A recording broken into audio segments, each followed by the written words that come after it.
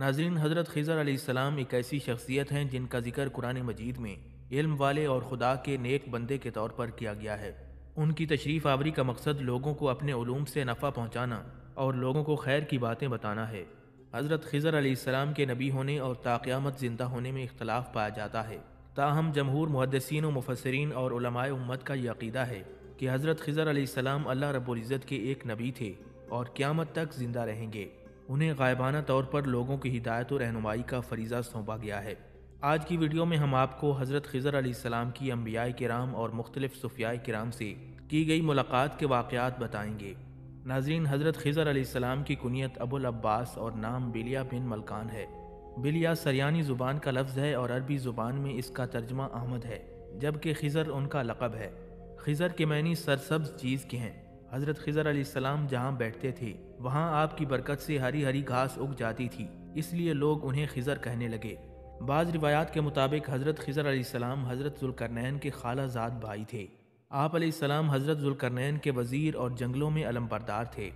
حضرت خضر علیہ السلام کا دور حضرت ابراہیم علیہ السلام کے دور کے فوراً بعد کا ہے۔ چار انبیاء کرام ایسے ہیں جن کے بارے میں کہا جاتا ہے کہ وہ آج بھی زندہ ہیں۔ حضرت ادریس علیہ السلام اور حضرت عیسیٰ علیہ السلام آسمانوں پر، جبکہ حضرت خضر علیہ السلام اور حضرت الیاس علیہ السلام زمین پر۔ تفسیر خزائن العرفان میں درج ہے کہ حضرت ذوالکرنین نے پرانی کتابوں میں پڑھا تھا کہ سام بن نو علیہ السلام کی اولاد میں سے ایک شخص چشمہ حیات سے پانی پی لے گا تو اسے موت نہیں آئے گی۔ اس لیے حضرت ذوالکرنین نے مغرب کا سفر کیا۔ آپ کے ساتھ حضرت خضر علیہ السلام بھی تھے، جو آب حیات کے چشمے پر پہنچ گئے اور اس کا پانی بھی پی لیا۔ مگر حضرت ذوالکرنین کے مقدر میں نہیں تھا اور وہ محروم رہ گئے۔ حضرت خضر علیہ السلام نے چشمہ حیات میں غسل فرمایا اور اس کا پانی بھی پیا تھا، جس کی وجہ سے انہیں حیات ابدی سے نوازا گیا۔ قرآن مجید برہان رشید کی سورہ کاف میں حضرت خضر علیہ السلام اور حضرت موسیٰ علیہ السلام کا واقعہ تفصیل سے بیان کیا گیا ہے۔ ناظرین، ایک دن حضرت موسیٰ علیہ السلام بنی اسرائیل سے خطاب فرما رہے تھے کہ کسی نے پوچھا، اس زمانے میں سب سے بڑا عالم کون ہے؟ حضرت موسیٰ علیہ السلام نے جواب دیا کہ مجھے اللہ رب العزت نے سب سے زیادہ علم عطا فرمایا ہے۔ اللہ تعالیٰ کو یہ بات ناگوار گزری اور فوراً وعید نازل ہوئی۔ تمہارا منصب یہ تھا کہ اپنے آپ کو علم خداوندی کے سپرد کرتے یعنی کہتے، اللہ ہی علیم و خبیر ہے۔ اے موسیٰ، مجمع البحرین جاؤ۔ وہاں ہمارے ایک بندے سے ملو۔ وہ کئی امور میں تجھ سے زیادہ عالم ہے۔ حضرت موسیٰ علیہ السلام نے عرض کیا، اے پروردگار، اس نیک بندے تک پہنچنے کا کیا طریقہ ہے؟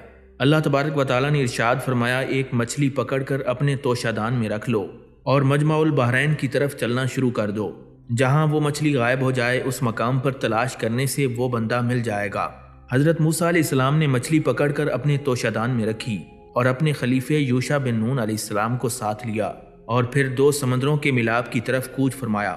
وہ خدا کا نیک بندہ کون تھا؟ قرآن مجید اس بارے میں خاموش ہے۔ اکثر محدثین کرام اس بات پر متفق ہیں کہ اس نیک بندے کا نام خضر علیہ السلام تھا۔ حضرت موسیٰ علیہ السلام حضرت خضر علیہ السلام کی تلاش کو نکل کھڑے ہوئے۔ چلتے چلتے اس مقام پر پہنچے جہاں دو سمندر آپس میں ملتے تھے۔ چونکہ لمبی مسافت تھی، اس لیے کافی دن مسلسل چلتے ہوئے آپ نڈھال ہو چکے تھے۔ کچھ دیر سستانے کی غرض سے ایک پتھر پر ٹیک لگا کر سو گئے۔ آپ علیہ السلام کے ساتھی یوشا بن نون علیہ السلام پر بھی بیٹھتے ہی نیند تاری ہو گئی۔ اللہ رب العزت کے حکم سے اس مچھلی میں حرکت پیدا ہوئی اور وہ توشہ دان سے نکل کر سمندر میں تیرنے لگی۔ خدا کی قدرت سے مچھلی جہاں تیرتی جا رہی تھی، وہاں پانی برف کی طرح جمتا چلا جا رہا تھا۔ پانی پر برف کی ایک پٹی سی نمودار ہو رہی تھی۔ دیکھنے والے کو ایسا معلوم ہوتا تھا جیسے سمندر کے بیچ میں ایک خط یا لکیر کھینچ کر ایک پگڈنڈی بنا دی گئی ہے۔ اتفاق سے حضرت یوشا علیہ السلام حضرت موسیٰ علیہ السلام سے پہلے بیدار ہوئے۔ انہوں نے یہ سارا منظر اپنی آنکھوں سے خود دیکھ لیا۔ مگر جب حضرت موسیٰ علیہ السلام جاگے تو انہیں یہ واقعہ بتانا بھول گئے۔ انہوں نے اٹھتے ہی اپنا سفر دوبارہ شروع کر دیا۔ مسلسل ایک دن اور ایک رات چلتے رہے۔ دوسرے دن کا آغاز تھا کہ حضرت موسیٰ علیہ السلام فرمانے لگے، مجھے تھکان نے نڈال کر دیا اور بھوک اپنی پوری شدت سے چمک اٹھی ہے۔ اے یوشا، لاؤ وہ مچھلی بھون کر کھاتے ہیں یہاں حضور علیہ السلاۃ والسلام فرماتے ہیں کہ اپنی منزل تک حضرت موسیٰ علیہ السلام کو تھکن محسوس نہیں ہوئی تھی۔ یہ سفر بھول کی وجہ سے بتائی گئی منزل سے آگے کا تھا۔ اس لیے حضرت موسیٰ علیہ السلام کو بھوک اور تھکاوٹ نے آن لیا۔ مچھلی کا سن کر حضرت یوشا علیہ السلام کو یاد آیا کہ وہ تو بتانا ہی بھول گئے۔ پھر حضرت موسیٰ علیہ السلام سے مخاطب ہوئے۔ حضرت مقام سخرا پر جب ہم سو رہے تھے تو مچھلی تو شدان سے نکل کر سمندر میں داخل ہو گئی تھی۔ مچھلی جہاں جہاں چلتی گئی وہاں ایک راستہ نمودار ہوتا گیا۔ اور جب آپ علیہ السلام بیدار ہوئے تو میں یہ بتانا بھول گیا۔ شاید یہ شیطان کی کارستانی تھی۔ یہ سن کر حضرت موسیٰ علیہ السلام نے فرمایا، جس مقام کی ہمیں تلاش تھی، یہ وہی مقام ہے جہاں مچھلی غائب ہوئی۔ پھر دونوں واپس مقام سخرہ کی جانب چل دیے۔ وہاں پہنچ کر حضرت موسیٰ علیہ السلام، حضرت یوشا علیہ السلام کو باہر بٹھا کر مچھلی کے بنائے ہوئے راستے پر سمندر میں داخل ہو گئے۔ جہاں یہ راستہ ختم ہوا، وہاں دیکھا تو حضرت خضر علیہ السلام عمدہ پوشاک پہنے بیٹھے تھے۔ حضرت موسیٰ علیہ السلام نے عرض کیا اور تعارف کروایا، میں موسیٰ ہوں۔ حضرت خضر علیہ السلام نے کہا، تم بنی اسرائیل کے نبی موسیٰ ہو۔ حضرت موسیٰ علیہ السلام نے ہاں میں جواب دیا اور فرمایا، میں تم سے وہ علم حاصل کرنے آیا ہوں جو خدا نے صرف تمہیں عطا فرمایا ہے۔ حضرت خضر علیہ السلام نے فرمایا، تم میرے ساتھ رہ کر صبر نہیں کر سکو گے۔ اللہ تعالیٰ نے مجھے اپنے رموز و اسرار کا وہ تکوینی علم عطا فرمایا ہے جو تمہیں نہیں ملا۔ اور اللہ رب العزت نے جو شرعی علم تجھے عطا فرمایا، وہ مجھے نہیں ملا۔ حضرت موسیٰ علیہ السلام فرمانے لگے، انشاءاللہ آپ مجھے صبر و ضبط کرنے والا پائیں گے۔ پھر حضرت خضر علیہ السلام کہنے لگے، میں صرف ایک شرط پر تمہارے ساتھ چل سکتا ہوں کہ جو کچھ تمہیں نظر آئے اگر تمہاری عقل اور علم کے منافی ہو، تو اس پر اعتراض نہیں کرو گے۔ یہاں تک کہ میں خود اس کی حقیقت تمہیں نہ بتا دوں۔ حضرت موسیٰ علیہ السلام نے کہا، مجھے منظور ہے، میں کسی عجیب بات پر اصرار نہیں کروں گا۔ یہ شرائط طے کرنے کے بعد حضرت موسیٰ علیہ السلام اور حضرت خضر علیہ السلام کا سفر شروع ہو جاتا ہے۔ دونوں سمندر کی طرف چل پڑے۔ ساحل پر پہنچے تو ایک کشتی پر نظر پڑی۔ حضرت خضر علیہ السلام نے کشتی والوں سے کرایہ پوچھا۔ وہ کشتی والے خضر علیہ السلام کے واقف کار تھے۔ انہوں نے کرایہ لینے سے انکار کر دیا اور بزد ہو کر دونوں کو کشتی پر سوار کر لیا۔ کشتی منزل کی طرف تیرنے لگی۔ ابھی کشتی کچھ زیادہ دیر نہیں چلی تھی کہ حضرت خضر علیہ السلام نے کشتی کا ایک تختہ اکھاڑ کر سوراخ کر دیا۔ حضرت موسیٰ علیہ السلام سے برداشت نہ ہو سکا اور وہ فرمانے لگے، بڑا عجیب آدمی ہے۔ کشتی والوں نے مفت سوار کیا یعنی احسان کیا، اور تو نے اس احسان کا یہ بدلہ دیا۔ اس طرح تو یہ کشتی اپنے سواروں سمیت ڈوب جائے گی۔ حضرت خضر علیہ السلام نے کہا، وہی بات ہوئی جو میں کہتا تھا کہ آپ صبر و ضبط نہیں کر سکیں گے۔ حضرت موسیٰ علیہ السلام شرمندہ ہو کر کہنے لگے، بھول چوک معاف کرو، میں تو اس وعدے کو بالکل بھول ہی گیا تھا۔ اس لیے میرے ساتھ زیادہ سختی سے کام نہ لو۔ اسی اسنا میں ایک چڑیا اڑتی ہوئی آئی اور ایک قطرہ پانی کا اٹھا کر چلتی بنی۔ اس پر حضرت خضر علیہ السلام یوں گویا ہوئے، بے شک علم الہی کے مقابلے میں میرا اور تیرا علم ایسے ہے، جیسے چڑیا کی چونچ میں سمندر کے پانی کا یہ قطرہ۔ اسی اسنا میں کشتی ساحل کے قریب پہنچ گئی۔ حضرت موسیٰ علیہ السلام اور حضرت خضر علیہ السلام دونوں اتر کر ایک سمت چل دیے۔ ان دونوں کا سفر ساحل کے ساتھ ساتھ جاری تھا۔ کیا دیکھتے ہیں کہ ایک میدان میں بچے کھیل رہے ہیں۔ حضرت خضر علیہ السلام نے آگے بڑھ کر ایک بچے کو پکڑا اور مار دیا۔ حضرت موسیٰ علیہ السلام سے یہ برداشت نہ ہو سکا اور وہ فرمانے لگے، تم نے یہ کیا کر دیا؟ نا حق ایک معصوم کی جان لے لی۔ یہ بہت بڑا ظلم ہے۔ حضرت خضر علیہ السلام بور اٹھے۔ میں نے پہلے ہی کہا تھا کہ آپ میرے ساتھ رہ کر صبر نہیں کر سکیں گے۔ حضرت موسیٰ علیہ السلام نے درخواست کی، اس بار معاف کر دیں۔ اگر آئندہ بھی ایسا ہوا تو مجھے الگ کر دینا۔ ایک بار پھر دونوں محو سفر ہو گئے۔ چلتے چلتے ایک بستی میں پہنچے۔ اس بستی کے رہنے والے خوشحال اور اسودہ حال تھے۔ مہمان نوازی ان پر واجب تھی۔ آپ دونوں نے مہمان بننے کی درخواست کی، جسے بستی والوں نے ٹھکرا دیا۔ آپ وہاں سے چل دیے۔ ابھی بستی میں سے گزر رہے تھے کہ دیکھتے ہیں کہ ایک دیوار گرنے کے قریب ہے۔ حضرت خضر علیہ السلام نے سہارا دے کر اس دیوار کو کھڑا کر دیا۔ حضرت موسیٰ علیہ السلام کی طبیعت پر یہ بات بھی گراں گزری۔ سوچنے لگے، بڑا عجیب آدمی ہے۔ بستی والوں نے مہمان بنانے سے انکار کر دیا۔ اس دیوار کی مزدوری کے عوض کھانا حاصل کیا جا سکتا تھا۔ یہ تو کیا نہیں، الٹا مفت کھاتے میں دیوار سیدھی کر دی۔ بستی والوں نے یہی احسان کیا تھا کہ ہمیں بستی سے نکل جانے کا حکم دیا۔ ایسے لوگوں کے ساتھ اس نیکی کا کوئی جواز نہیں بنتا۔ یہ سوچ کر حضرت موسیٰ علیہ السلام نے ٹوکا۔ حضرت، یہ تردد کرنے کی کیا ضرورت تھی؟ یہ الفاظ سن کر حضرت خضر علیہ السلام کہنے لگے، بس تمہارا میرا راستہ یہیں تک تھا۔ اب میری تمہاری جدائی کا وقت آ گیا ہے۔ پھر حضرت خضر علیہ السلام نے ان واقعات کی طرف اشارہ کرتے ہوئے بتایا کہ یہ سب کچھ اللہ کی مرضی کے مطابق تھا۔ میں نے کوئی کام اپنی طرف سے نہیں کیا، بلکہ خدا کی طرف سے عطا کردہ احکامات یا اس تکوینی علم کے مطابق کیا، جو اپنی خاص عنایت سے اللہ تبارک و تعالیٰ نے مجھے عطا فرمایا ہے۔ اس کے بعد حضرت خضر علیہ السلام نے حضرت موسیٰ علیہ السلام کو ان واقعات کے حقائق بتائے اور رخصت ہو گئے۔ ان واقعات کی حقیقت قرآن مجید نے کچھ یوں بیان فرمائی ہے، بس اب میرے اور تمہارے درمیان علیحدگی کا وقت آ گیا ہے۔ مگر جن باتوں پر آپ سے صبر نہیں ہو سکا، ان کی حقیقت کچھ یوں تھی۔ جس کشتی میں ہم نے سراغ کیا، وہ کشتی چند مسکینوں کی ملکیت تھی اور وہ کشتی جس بندرگاہ پر اتر رہی تھی، وہاں کا ظالم بادشاہ ہر اچھی اور نئی کشتی کو اپنے قبضے میں لے لیتا تھا۔ ان مساکین کی مدد کے لیے ہم نے اس کشتی میں سوراخ کر دیا تاکہ بادشاہ اسے پرانی سمجھ کر چھوڑ دے۔ چنانچہ پھر ایسا ہی ہوا۔ رہا بچہ قتل کرنے کا معاملہ تو اس میں حقیقت یہ تھی کہ اس بچے کے والدین انتہائی نیک اور پاک باز تھے۔ یہ بچہ بڑا ہو کر سرکشی اور کفر کرنے والا تھا۔ مجھے اس کے والدین پر ترس آیا اور میرے دل نے گواہی دی کہ اس لڑکے کے عوض اللہ تبارک و تعالیٰ انہیں نیک اور صالح اولاد عطا فرمائے۔ اس لیے میں نے اس بچے کو قتل کر دیا۔ مفسرین کے بقول یہ امر ربی تھا۔ حضرت خضر علیہ السلام نے اپنی طرف سے کچھ نہیں کیا۔ بعد ازاں واقعی اللہ تعالیٰ نے اس مقتول بچے کے والدین کو نیک اور صالح اولاد سے تسکین عطا فرمائی۔ اور ہاں جو دیوار میں نے سیدھی کی وہ دو یتیم لڑکوں کی ملکیت تھی۔ اس دیوار کے نیچے ان کا خزانہ دفن تھا۔ ان لڑکوں کا والد ایک نیک انسان تھا اور بستی کے لوگ ظالم تھے۔ بس تمہارے پروردگار کی یہی مرضی تھی کہ جب یہ یتیم جوان ہوں تو ان کا خزانہ انہیں مل جائے۔ مفسرین فرماتے ہیں کہ اگر دیوار گر جاتی تو شاید لوگ خزانہ لوٹ کر لے جاتے۔ اس لیے حضرت خضر علیہ السلام نے اپنے رب کے حکم سے وہ دیوار سیدھی کر دی۔ آخر میں حضرت خضر علیہ السلام نے کہا، یاد رکھو، میں نے جو کچھ کیا اللہ کے حکم سے کیا، اپنے اختیار سے نہیں کیا۔ اور یہ ان باتوں کی حقیقت ہے جس پر تم صبر نہ کر سکے۔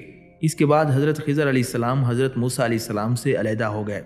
حضرت انس بن مالک رضی اللہ تعالیٰ عنہ سے منقول ہے کہ سرکار دو عالم صلی اللہ علیہ وآلہ وسلم کی وفات کے بعد آپ کے صحابہ آپ کے گرد بیٹھ کر رونے لگے تو ایک شخص آیا، جس کے کندھوں پر بڑے بڑے بال تھے۔ وہ دروازے کے بازو پکڑ کر حضور علیہ السلاۃ والسلام کے غم میں بہت رویا۔ پھر نبی علیہ السلاۃ والسلام کے اصحاب کی طرف متوجہ ہو کر کہنے لگا اللہ کے ہاں ہر مصیبت کا صبر ہے اور ہلاک کرنے والی چیز کا بدلہ ہے۔ اسی سے امید کرو کیونکہ بڑا مصیبت زدہ وہ ہے جو ثواب سے محروم رہے۔ اور پھر وہ شخص سلام کر کے چلا گیا۔ حضرت سیدنا ابو بکر صدیق رضی اللہ تعالیٰ عنہ نے فرمایا، ذرا اس کو بلاؤ تو۔ لوگوں نے چاروں طرف ڈھونڈا لیکن وہ نہ ملے۔ حضرت ابو بکر صدیق رضی اللہ تعالیٰ عنہ نے حضرت علی رضی اللہ تعالیٰ عنہ سے فرمایا، یہ خضر تھے۔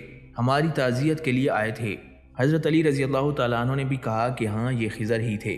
حضرت عوف رضی اللہ تعالیٰ عنہ سے روایت ہے کہ حضور علیہ السلاۃ والسلام مسجد میں تھے کہ باہر سے کسی کے بولنے کی آواز سن کر حضرت انس بن مالک رضی اللہ تعالیٰ عنہ سے فرمایا کہ جاؤ، اس باتیں کرنے والے سے کہو کہ وہ میرے لیے دعا کرے۔ حضرت انس بن مالک رضی اللہ تعالیٰ عنہ نے جا کر کہا تو اس شخص نے جواب دیا، اللہ تعالیٰ نے آپ کو تمام انبیاء پر ایسی فضیلت دی ہے جیسے رمضان کو دوسرے مہینوں پر۔ لوگوں نے جا کر دیکھا تو وہ حضرت خضر علیہ السلام تھے۔ اسی طرح ایک مرتبہ حضرت علی رضی اللہ تعالیٰ عنہ نے طواف کعبہ کے دوران کسی کو دعا مانگتے اور آہوزاری کرتے ہوئے سنا۔ تو جا کر اس شخص کو دیکھا تو وہ حضرت خضر علیہ السلام تھے۔ حضرت عمر رضی اللہ تعالیٰ عنہ کے حالات میں مروی ہے کہ وہ ایک جنازے پر نماز پڑھانے کے لیے کھڑے ہوئے۔ تو کسی نے آواز دی کہ ٹھہریے، ہمیں بھی شریک ہونے دیجیے نماز کے بعد حضرت عمر رضی اللہ تعالیٰ عنہ نے ان کو بلانا چاہا تو وہ نظروں سے چھپ گئے۔ حضرت عمر رضی اللہ تعالیٰ عنہ نے فرمایا، اللہ کی قسم، یہ حضرت خضر علیہ السلام تھے۔ حضرت ربا بن عبیدہ رضی اللہ تعالیٰ عنہ فرماتے ہیں کہ میں نے دیکھا کہ حضرت عمر بن عبدالعزیز رحمۃ اللہ علیہ کے ساتھ ایک شخص ان کے ہاتھ پر سہارا لگایا جا رہا ہے۔ جب وہ واپس آئے تو میں نے پوچھا، یہ کون آدمی تھا؟ حضرت عمر بن عبدالعزیز رحمۃ اللہ علیہ نے پوچھا، کیا تم نے اس کو دیکھا تھا؟ میں نے جواب دیا ہاں دیکھا تھا۔ حضرت عمر بن عبدالعزیز رحمۃ اللہ علیہ نے فرمایا، تم بڑے سالے آدمی ہو، کیونکہ وہ تمہیں نظر آ گئے۔ یہ ہمارے بھائی حضرت خضر علیہ السلام تھے۔ انہوں نے مجھے بشارت دی ہے کہ مجھے حکومت ملے گی اور میں اس میں عدل کروں گا۔ چنانچہ اس کے بعد حضرت عمر بن عبدالعزیز رحمۃ اللہ علیہ خلیفہ ہوئے اور آپ نے انتہائی عدل و انصاف سے حکومت کی۔ حضرت شیخ ابراہیم رحمۃ اللہ علیہ سے منقول ہے کہ وہ کعبے کے صحن میں بیٹھے اللہ کا ذکر کر رہے تھے کہ اسی دوران ایک شخص نے آ کر سلام کیا۔ اس سے زیادہ خوبصورت اور خوشبودار آدمی میں نے زندگی میں دیکھا ہی نہیں تھا۔ میں نے پوچھا، آپ کون ہیں؟ انہوں نے فرمایا، میں تمہارا بھائی خضر ہوں۔ اور پھر انہوں نے مجھے ایک ایسا عمل بتایا کہ جب میں اس کو پڑھتا ہوں تو رسول اکرم صلی اللہ تعالیٰ علیہ وسلم کی زیارت ہو جاتی ہے۔ حضرت امام جعفر صادق علیہ السلام فرماتے ہیں کہ میں نے دیکھا کہ میرے والد امام زین العابدین علیہ السلام سے ایک بوڑھا شخص باتیں کر رہا ہے۔ جب وہ بوڑھا شخص چلا گیا تو میرے والد ماجد نے فرمایا کہ ان کو بلاؤ۔ میں نے بہت تلاش کیا مگر وہ نہ ملے۔ والد محترم نے فرمایا کہ وہ حضرت خضر علیہ السلام تھے۔ ناظرین، صحابہ کرام، تابعین اور تبا تابعین کے بعد بھی بے شمار بزرگوں نے حضرت خضر علیہ السلام سے ملاقات کی۔ ان بزرگان دین میں ابراہیم بن ادہم بشر حافی معروف کرخی، سری سختی، حضرت جنید بغدادی اور ابراہیم خواص رحمۃ اللہ علیہم اجمعین کا ذکر خاص طور پر کیا جاتا ہے۔ شیخ اکبر محی الدین ابن عربی رحمۃ اللہ علیہ فرماتے ہیں کہ میں نے خضر علیہ السلام سے اشبیلیہ میں ملاقات کی تو انہوں نے مجھے کچھ نصیحتیں بھی فرمائی تھیں۔ تفسیر خزان العرفان میں منقول ہے کہ محمد بن سماک رحمۃ اللہ علیہ بیمار ہوئے تو ان کے متوسلین ان کا کارورہ لے کر ایک عیسائی حکیم کے پاس علاج کے لیے جا رہے تھے۔ راستے میں ایک صاحب ملے۔ نہایت خوبصورت چہرہ اور نہایت عمدہ لباس پہنے ہوئے ان کے جسم مبارک سے انتہائی پاکیزہ خوشبو آ رہی تھی۔ انہوں نے فرمایا، کہاں جاتے ہو؟ انہوں نے جواب دیا، ابن سماک کا کارورہ دکھانے کے لیے فلاں حکیم کے پاس جاتے ہیں۔ اس بزرگ نے فرمایا، سبحان اللہ اللہ کے ولی کے لیے خدا کے دشمن سے مدد چاہتے ہو۔ کارورہ پھینک دو اور واپس جاؤ اور ان سے کہو کہ مقام درد پر ہاتھ رکھ کر سورہ بنی اسرائیل کی یہ آیت تلاوت کرے۔ وبل حق انزل نہ ہو وبل حق نزل۔ یہ فرما کر وہ بزرگ غائب ہو گئے۔ ان لوگوں نے واپس آ کر ابن سماق سے واقعہ بیان کیا۔ انہوں نے مقام درد پر ہاتھ رکھ کر یہ کلمے پڑھے تو فوراً آرام آ گیا۔ ابن سماق نے فرمایا، جانتے ہو وہ کون تھے؟ وہ حضرت خضر علیہ السلام تھے۔ کتاب تربیت الاشاق میں قطب القتاب شاہ محمد ذوقی رحمۃ اللہ علیہ کے حوالے سے لکھا ہے۔ کہ اولیاء اللہ حضرت خضر علیہ السلام کو زندہ مانتے ہیں اور زندہ کیوں نہ مانے جبکہ وہ ان سے ملاقات بھی کرتے ہیں۔ بلکہ بعض اوقات تو حضرت خضر علیہ السلام اولیاء اللہ کو اذکار و مشاغل کی تعلیم بھی دیتے ہیں۔ سلسلہ صابریہ کی مشہور کتاب اقتباس الانوار میں مؤلف شیخ محمد اکرم قدوسی رحمۃ اللہ علیہ فرماتے ہیں کہ حضرت سیدنا شیخ عبد القادر جیلانی رحمۃ اللہ علیہ نے ابتدائی حال میں حضرت خضر علیہ السلام سے تربیت حاصل کی۔ اسی طرح حقیقت گلزار صابری کے مؤلف شاہ محمد حسن صابری چشتی رحمۃ اللہ علیہ فرماتے ہیں کہ حضرت سیدنا شیخ عبد القادر جیلانی رحمۃ اللہ علیہ فرماتے ہیں کہ میں ایک جگہ پورے سال تک تعمیل تعلیم میں مصروف رہا۔ اللہ تعالیٰ کی قدرت سے ایک سیب کا درخت میرے قریب پیدا ہو گیا۔ اثر کے وقت اس کی ڈالی جھکتے جھکتے میرے منہ کے قریب آ جاتی اور مغرب کے وقت سیب خود بخود ٹوٹ کر گر جاتا۔ میں نے پورے ایک سال تک اسی سیب سے افطار کیا۔ جب اپنے پیر و مرشد کے حکم کے مطابق ذکر سلطان کو جاری پایا تو اٹھ کر بغداد کی جانب روانہ ہو گیا۔ ماہ سفر کی تیرہ تاریخ پانچ سو گیارہ ہجری منگل کے دن اشراق کی نماز کے وقت بغداد پہنچ کر جامعہ مسجد کے برج میں مقیم ہوا۔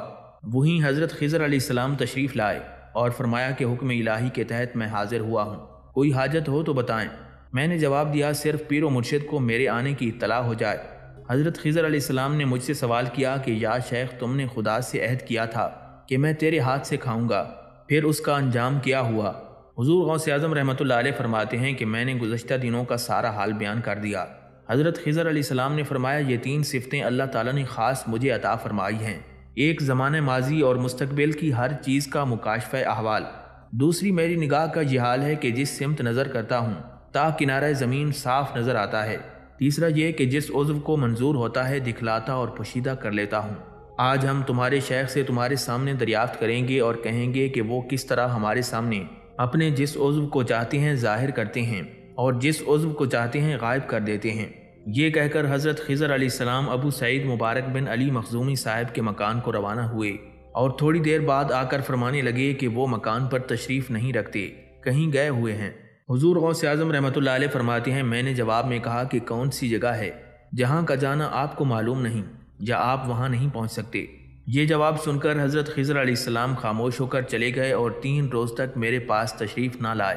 ناظرین، حضرت بابا فرید الدین مسعود گنشکر رحمۃ اللہ علیہ کی سوانح مقام فرید میں صاحبزادہ محمد اقبال صدیقی نے قدیم کتاب ابودیت شریف کے حوالے سے حضرت بابا فرید گنشکر رحمۃ اللہ علیہ کی حضرت خضر علیہ السلام سے ملاقات کا ذکر یوں لکھا ہے کہ حضرت بابا فرید رحمۃ اللہ علیہ نے خود بیان کیا کہ ایک اتوار کے روز افطار روزہ کے بعد دروازے پر ایک فقیر نے دستک دی کہ لڑکے مسعود جلدی باہر آؤ۔ اس پر میری والدہ نے مجھے بلایا اور پیار سے سینے کے ساتھ لگایا اور ضروری نصیحتیں کرتے ہوئے فرمایا کہ جو یہ فقیر کہے وہ سب تسلیم کرنا۔ والدہ نے ان نصیحتوں اور دعا کے ساتھ مجھے باہر بھیجا اور میں اس فقیر کے ساتھ ہو لیا جو ایک بڑا کمبل اوڑھے ہوئے تھا۔ اس نے میرا ہاتھ مضبوطی سے پکڑ لیا اور خاموشی کے ساتھ چلتے رہنے کا حکم دیا۔ میں نے عرض کیا کہ کچھ کھایا پیا نہیں ہے۔ اس پر اس فقیر نے اپنا بڑا کمبل میرے سر پر ڈال دیا اور مجھے سختی سے پکڑتے ہوئے کہا کہ نہیں مانتا تو کھینچوں۔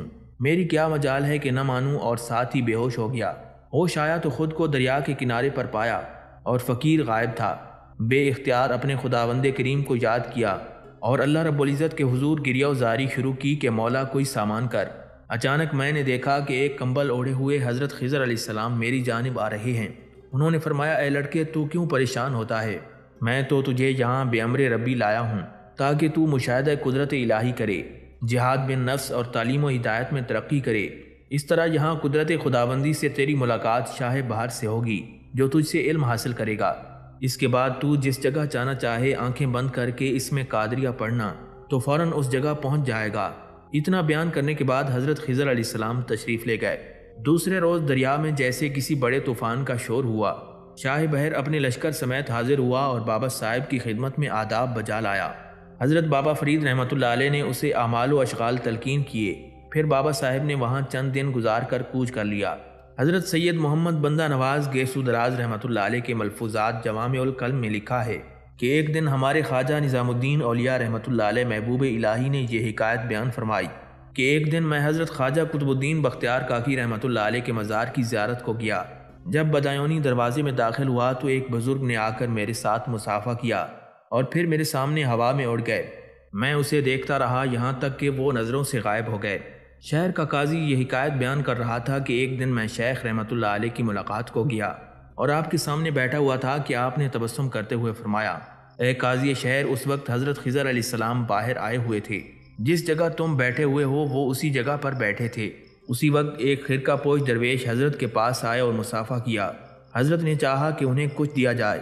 آپ نے ایک خادم کو بلا کر کوئی چیز لانے کا حکم دیا ہی تھا کہ وہ درویش نظروں سے غائب ہو گئے۔ جوام القلم میں حضرت سید بندہ نواز گیسود راز رحمۃ اللہ علیہ سے روایت ہے کہ آپ رحمۃ اللہ علیہ نے فرمایا کہ ایک طالب علم تھا جو ہر جمعرات کے دن مدرسے سے غیر حاضر ہوتا تھا۔ جب استاد نے وجہ پوچھی تو کہنے لگا، مجھے ہر جمعرات کے دن حضرت خضر علیہ السلام کی زیارت ہوتی ہے۔ استاد نے کہا، کیا میری بھی حضرت خضر علیہ السلام سے ملاقات ہو سکتی ہے؟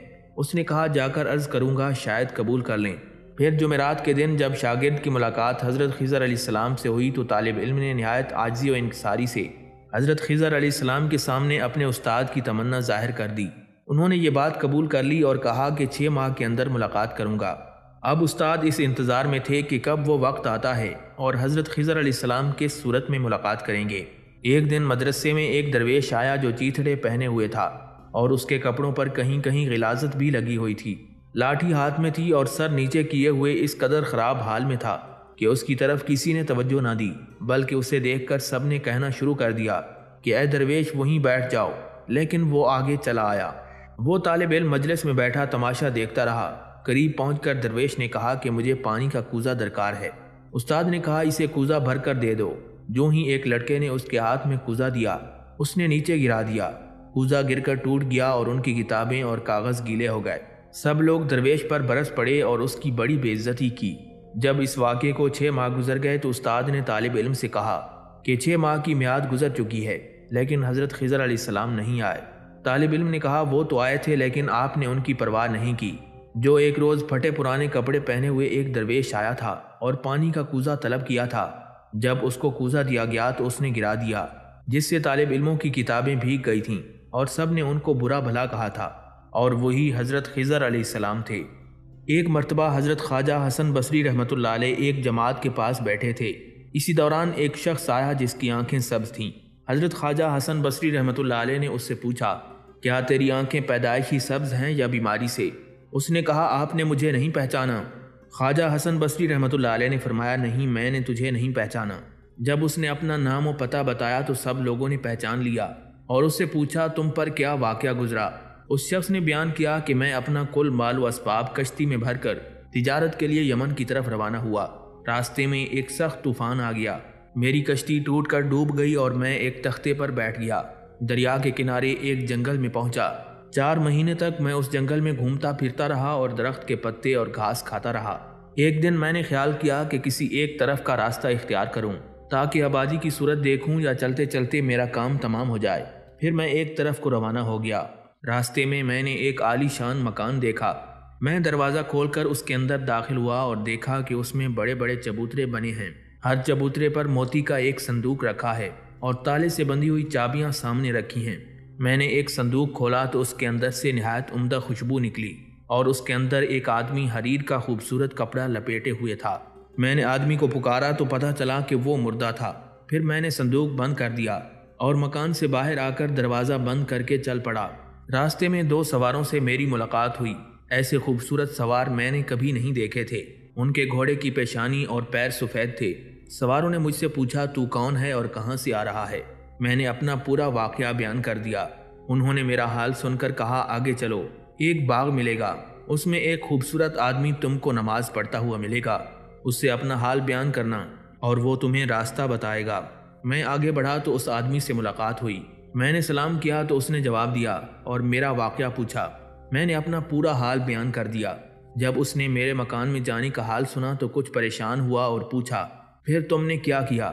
میں نے کہا، جب میں نے صندوق کھولا تو بند تھا اور پھر وہ دروازہ بند کر دیا۔ یہ سن کر ان کی پریشانی کچھ کم ہوئی اور کہا، بیٹھ جاؤ۔ میں ان کے کہنے پر بیٹھ گیا۔ میں نے دیکھا کہ ایک بادل اڑتا ہوا آیا اور اس میں سے آواز آئی۔ السلام علیکم یا ولی اللہ۔ انہوں نے بادل سے کہا، تو کہاں جاتا ہے؟ بادل نے کہا، فلاں شہر کو۔ اسی طرح بادل آتے اور آپ کو سلام کرتے اور آپ جواب دے کر ان سے پوچھتے، کہاں جاتے ہو؟ یہاں تک کہ ایک بادل نے کہا، بسرا جاتا ہوں۔ وہ زمین پر آ گیا تو آپ نے فرمایا، اس آدمی کو اپنے اوپر سوار کر کے اس کے مکان تک صحیح سالم پہنچا دے۔ میں نے بادل پر سوار ہونے سے پہلے کہا، جس اللہ نے آپ کو یہ مرتبہ بخشا ہے، میں تجھے اس کی قسم دیتا ہوں، فرمائیے وہ مکان کیسا ہے؟ اور وہ دونوں سوار کون تھے؟ اور آپ کون ہیں؟ اس نے کہا، یہ مکان دریا کے شہیدوں کا ہے۔ اللہ تبارک و تعالیٰ نے فرشتوں کو مقرر کیا ہے کہ جو لوگ دریا میں غرق ہوں، ان کی لاشیں نکال لائیں اور حریر کے کپڑے میں لپیٹ کر ان صندوقوں میں رکھیں۔ اور وہ سوار فرشتے ہیں۔ اللہ تبارک و تعالیٰ کا سلام ان کو صبح و شام پہنچاتے ہیں۔ اور میں حضرت خضر علیہ السلام ہوں۔ میں نے اللہ رب العزت سے دعا کی کہ تمہارے پیغمبر صلی اللہ علیہ وآلہ وسلم کی امت کے ساتھ مجھے رکھے۔ پھر اس آدمی نے کہا، جب میں بادل پر سوار ہو کر چلا تو اس قدر خوف مجھ پر طاری ہوا کہ میری آنکھیں خوف سے سبز ہو گئیں۔ اس واقعے کو شیخ الاسلام ابن حجر رحمۃ اللہ علیہ نے اپنی کتاب اسابہ فی معرفت صحابہ میں حضرت خضر علیہ السلام کے حال میں بیان کیا ہے۔ اور تفسیر در منصور کی چوتھی جلد میں ہے کہ حضرت آدم علیہ السلام کو جب طوفان نوح کی خبر دی گئی تو آپ نے اللہ تبارک مطالعہ سے دعا کی کہ جو شخص طوفان کے بعد مجھے دفن کرے تو اس کی عمر قیامت تک دراز فرما۔ حضرت خضر علیہ السلام نے طوفان کے بعد حضرت آدم علیہ السلام کو دوبارہ دفن کیا اور اللہ تبارک و تعالیٰ نے حضرت آدم علیہ السلام کی دعا قبول فرمائی اور حضرت خضر علیہ السلام کی عمر قیامت تک دراز فرمائی۔ کتاب فوائد الفوائد میں ایک حکایت بیان کی گئی ہے کہ ایک بزرگ عارف کامل تھے۔ ایک مرتبہ انہوں نے پانی پر مسلح بچھا کر دعا مانگی۔ اے اللہ، حضرت خضر علیہ السلام نے ارتکاب گناہ کبیرہ کیا ہے۔ انہیں توبہ کی توفیق عطا فرما۔ اسی وقت حضرت خضر علیہ السلام ظاہر ہوئے اور دریافت فرمایا، خضر نے کون سا گناہ کیا ہے جس سے توبہ کرے؟ انہوں نے فرمایا کہ آپ نے فلان جنگل میں ایک درخت لگایا ہے اور اس کے سائے میں بیٹھتے ہیں۔ اس سے آپ کو آرام ملتا ہے اور آپ کا دعویٰ ہے کہ یہ درخت خالصتاً اللہ کے لیے لگایا ہے۔ حضرت خضر علیہ السلام کو یہ بات یاد آئی اور انہوں نے فوراً توبہ کر لی۔ اس کے بعد اس بزرگ نے ترک دنیا کے معنی بیان فرمائے اور مثال دی کہ تارے کی دنیا کو اس طرح رہنا چاہیے جس طرح میں رہتا ہوں۔ حضرت خضر علیہ السلام نے دریات فرمایا، آپ کس حال میں رہتے ہیں؟ جواب دیا کہ اگر تمام دنیا مجھے بخش دیں اور اس کا حساب نہ لینے کا وعدہ کریں اور یہ بھی کہیں کہ اگر تم اس کو قبول نہیں کرو گے تو تمہیں دوزخ میں ڈال دیا جائے گا، تو میں دوزخ کو قبول کر لوں گا۔ دنیا کو نہیں۔ کیونکہ دنیا مغزوبہ خدا ہے۔ اور جس چیز پر اللہ کا غضب ہو، اللہ اس کو دوست نہ رکھتا ہو۔ اس چیز سے دوزخ بہتر ہے۔ اسی طرح شیخ نجیب الدین متوکل رحمۃ اللہ علیہ نے شیخ الاسلام حضرت بابا فرید الدین مسعود گنچکر رحمۃ اللہ علیہ سے پوچھا کہ میں نے عوام الناس کی زبانی سنا ہے کہ جب آپ نماز پڑھ کر یا رب کہتے ہیں، تو اس کے جواب میں لبے کا یا عبدی سنتے ہیں۔ حضرت بابا فرید رحمۃ اللہ علیہ نے فرمایا، خیر۔ پھر شیخ نجیب الدین متوکل رحمۃ اللہ علیہ نے پوچھا ایسا بھی سنا گیا ہے کہ حضرت خضر علیہ السلام آپ کی خدمت میں آمد و رفت رکھتے ہیں۔ آپ نے فرمایا، بالکل۔ پھر پوچھا، یہ بھی کہا جاتا ہے کہ مردان غیب آپ کے پاس آتے جاتے ہیں۔ آپ نے اس کا انکار فرمایا اور ارشاد فرمایا کہ تم بھی تو ابدال ہو۔ حضرت خواجہ قطب الدین بختیار کاکی رحمۃ اللہ علیہ ابتدائے حال میں ایک مقام پر پہنچے جہاں مسجد تھی۔ اس میں ایک بلند مینارہ تھا، جسے مینارہ ہفت کہتے تھے۔ یہ مشہور تھا کہ اس مینارے پر چڑھ کر جو دعا مانگی جائے۔ اور پھر دکانہ نماز مسجد میں ادا کرنے سے حضرت خضر علیہ السلام سے ملاقات ہوتی ہے۔ الغرض حضرت خواجہ قطب الدین بختیار کاکی رحمۃ اللہ علیہ کو بھی خضر علیہ السلام سے ملاقات کا اشتیاق ہوا اور ماہ رمضان المبارک کی کسی رات کو اس مسجد میں تشریف لے گئے۔ مسجد میں دو رکعت نفل ادا کیے اور مینارے پر چڑھ کر وہی دعا پڑھی اور تھوڑی دیر ٹھہرے رہے مگر کسی کو نہ دیکھا۔ لاچار ہو کر واپس آنے کا ارادہ کیا تو نکلتے ہوئے مسجد کے دروازے پر ایک بوڑھے شخص کو دیکھا جس نے مخاطب ہو کر کہا آپ اس وقت اس مسجد میں کیوں تشریف لائے؟ آپ نے اپنی صورتحال بیان کر دی۔ یہ سن کر وہ کہنے لگے، تم خزر سے مل کر کیا کرو گے؟ وہ بھی تمہاری طرح ایک سرگرداں شخص ہے۔ اس کے دیکھنے سے کیا ہوتا ہے؟ یہ کہہ کر پوچھنے لگے، کیا تم دنیا کے طلبگار ہو؟ حضرت خواجہ قطب الدین بختیار کاکی رحمۃ اللہ علیہ نے فرمایا، یہ آپ کیا فرما رہے ہیں؟ میں بالکل دنیا کی جانب متوجہ نہیں ہوں اور نہ دنیا چاہتا ہوں۔ یہ سن کر انہوں نے کہا کہ آپ کو کچھ قرض ادا تو نہیں کرنا۔ میں نے کہا نہیں۔ یہ سن کر انہوں نے کہا، پھر خضر سے مل کر کیا کرو گے؟ اس شہر میں ایک شخص ہے جن سے خود خضر علیہ السلام ملنے کے لیے بارہ مرتبہ گئے۔ مگر ان کی ذکر الہی میں محویت و مشغولیت کی وجہ سے باریابی نصیب نہیں ہوئی۔ یہ باتیں ہو رہی تھیں کہ ایک شخص پاکیزہ لباس اور نورانی چہرے والا ہمارے درمیان آیا۔ یہ پہلا بوڑھا شخص ادب اور تعظیم سے ان کے پاس کیا اور دونوں مل کر میرے پاس آئے۔ اور پہلے شخص نے میری طرف اشارہ کر کے کہا اس درویش کو نہ دنیا کی حاجت ہے اور نہ قرض ادا کرنا ہے، صرف آپ کی ملاقات کی آرزو رکھتا ہے۔ اسی اسنا میں اذان ہو گئی تو ہر طرف سے درویش اور صوفی آنے لگے۔ اچھا خاصا مجمع ہو گیا۔ تھوڑی دیر بعد اقامت کہی گئی۔ امام نے نماز پڑھا کر تراوی بھی پڑھائی اور بیس رکعت میں بارہ پارے پڑھے۔ میرے دل میں گزرا کہ اگر اس سے زیادہ پڑھے جاتے تو اور اچھا ہوتا۔ نماز ختم ہوتے ہی سب جدھر آئے تھے چلے گئے۔ میں بھی اپنے مقام کو آیا اور دوسری رات جلدی وضو کر کے چلا گیا۔ میں صبح تک مسجد میں رہا، مگر وہاں آدمی کا نشان تک نہ ملا۔ کتاب تذکرہ اولیاء پاکستان میں علامہ عالم فقری نے حضرت مادھو لال حسین قادری رحمۃ اللہ علیہ کے تذکرے میں لکھا ہے کہ ماہ رمضان المبارک نزدیک آیا تو حضرت بہلول رحمۃ اللہ علیہ نے حافظ ابو بکر سے فرمایا، نماز ترابی میں امامت حضرت مادھو لال حسین قادری رحمۃ اللہ علیہ کرے گا اور قرآن بھی سنائے گا۔ الغرض اول رمضان سے چھ رمضان تک حضرت مادھو لال حسین قادری رحمۃ اللہ علیہ نے کچھ پارے نماز میں سنائے۔ اور ساتویں روز مرشد سے عرض کی کہ حضور، جو قرآن مجید مجھے یاد تھا، میں سنا چکا۔ اب آگے کے لیے کیا حکم ہے؟ آپ نے فرمایا کہ تو نے اب تک پڑھا ہوا سنایا ہے، کوئی عجیب بات نہیں ہے۔ اب تجھے لازم ہے کہ بعد وضو نماز ادا کر اور پھر قرآن پڑھتا ہوا۔ دریا تک چلا جا اور ہمارے لیے دریا سے پانی لے آ۔ لیکن جب کوزہ بھر چکے گا تو وہاں تجھے ایک شخص سبز کپڑوں میں ملے گا۔ جو کچھ وہ تجھ سے کہے گا، اس کی بات ماننا۔ انہوں نے ویسا ہی کیا۔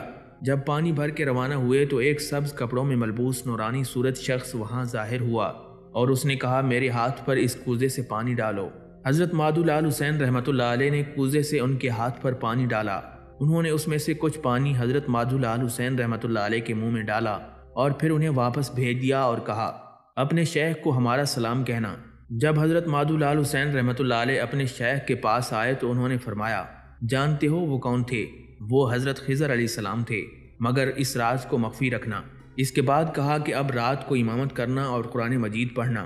الغرض انہوں نے اٹھائیس رمضان المبارک کو قرآن مجید ختم کر لیا اور بغیر پڑھے ہوئے کو بہتر طریقے سے پڑھ کر سنایا۔